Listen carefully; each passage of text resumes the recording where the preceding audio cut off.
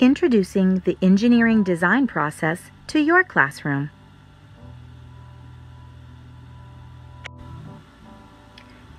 Before introducing the engineering design process to your students, you first need to reflect on what does engineering mean to you? What is your understanding about engineering? When first bringing about the idea of engineering to your classroom, you might consider talking to your students about what an engineer is.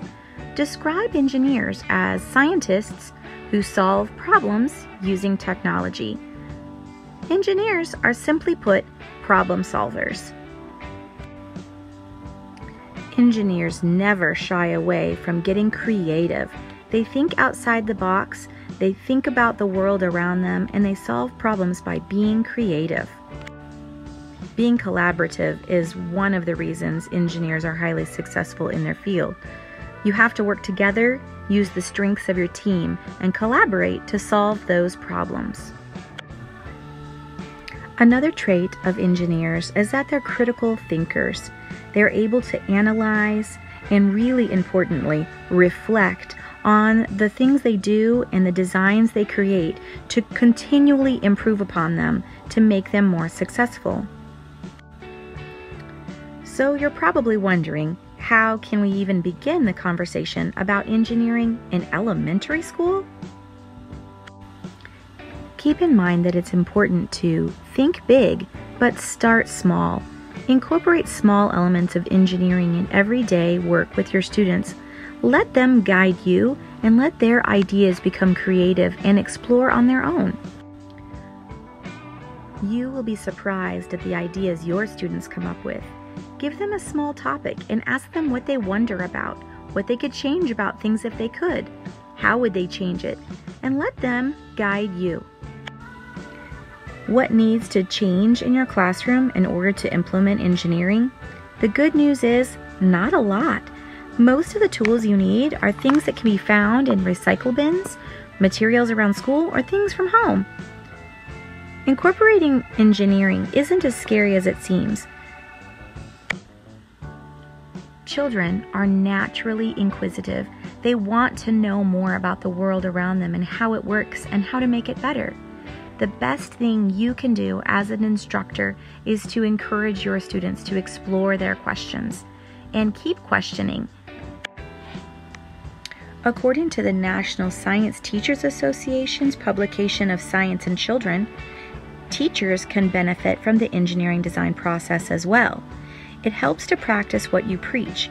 By doing the engineering design process and participating in it, it creates a positive gain in one's ability to define engineering problems and synthesize and evaluate problems and clearly explain and express what engineers even do.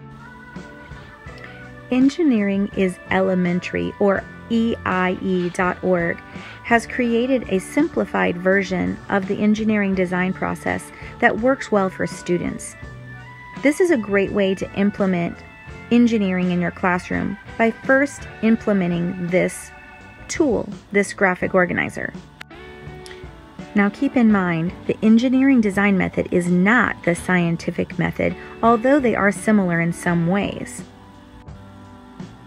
By definition, scientists use the scientific method to make testable explanations and predictions about the world. A scientist asks a question and develops an experiment or set of experiments to answer that question. But engineers use the engineering design process to create solutions to problems. So, when is it appropriate to use the engineering design process?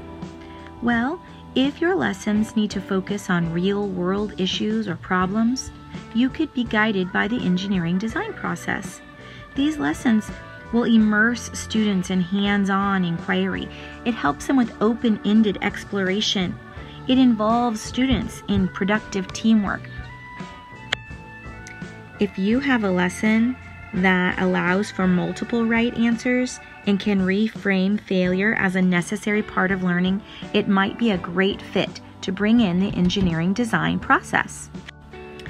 If you think you have a great lesson or a great idea for incorporating the engineering design process, you might be looking for resources. These resources Teach Engineering, National Academy of Engineering, and Design Squad Global all have prominent social media presence on both Facebook and Twitter. Engineering is Elementary, or EIE.org, has a wonderful free resource in their newsletter. It includes lessons, up to date information on engineering, and is highly recommended. While not free, a membership to the National Science Teachers Association does come with multiple benefits, including resources such as journals, publications, articles, and up to date lesson planning and resources for all members. The engineering design process is a series of steps that engineers follow to come up with a solution to a problem. Many times, a solution involves designing a product, like a machine or computer code, that meets certain criteria or accomplishes a certain task. This process is different from the steps of the scientific meth- method, as I've mentioned before. If your project involves making observations and doing experiments, you should probably follow the scientific method. But if your project involves designing, building, and testing something, you should probably follow this engineering design process. The steps of the engineering design process are define the problem, do background research, specify requirements, brainstorm solutions, choose the best solution, then do developmental work, build a prototype, then test, and importantly, redesign. If you're still wondering what the engineering design process actually looks like in projects or activities in the classroom, the following is an example of a project I did in my classroom. For any lesson in your classroom, it's so very important to go back to the standards for that, that subject matter. For this lesson in this project, my first grade students were working on the science standard of 1 PS 4 4, which is use tools and materials to design and build a device that uses light and or sound to solve the problem of communicating over a distance. To begin the lesson, I presented our students with two problems that needed to be solved. Problem number one was that teachers often blow the whistle at recess, but students fail to hear it and know when to line up the students needed to solve the problem of communication by using light or sound to build or create a device that will solve the problem of not hearing the whistle at recess. Problem number two was that of becoming lost on a hike. Students were asked to solve the problem of communication using light or sound to solve the problem of being lost in the woods to signal for help. Once the students described the problem that they were interested in solving, they were then asked to explore ideas and come up with brainstorms for how they would like to solve it. This was done all on the very first day of a five day project. On the second day, students with like ideas were paired together to create collaborative teams. Once the students were grouped collaboratively, they were asked to create a prototype and draw a diagram of what they would like to design. Then they made a list of all the supplies they thought they might need to create that item or that creation.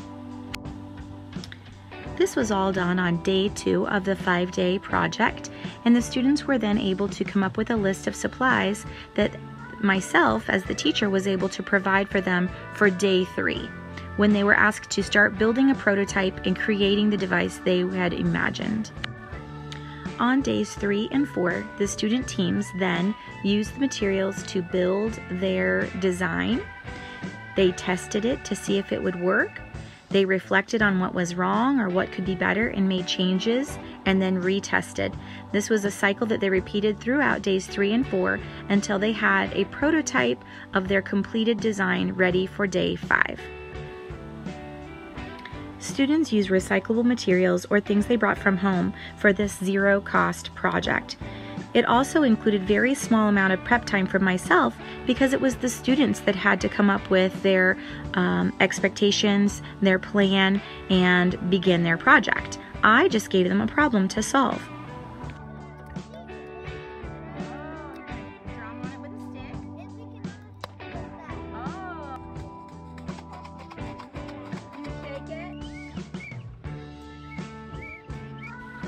Each day of this five day project included small activities that were all components of the engineering design process.